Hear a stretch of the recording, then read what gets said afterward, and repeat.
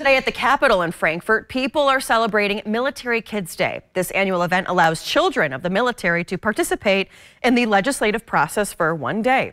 Military kids are invited to go on a Capitol tour, page for their respective legislator, participate in a Capitol scavenger hunt, and attend committee meetings related to military issues. Uh, the Kentucky National Guard has uh, troops deployed.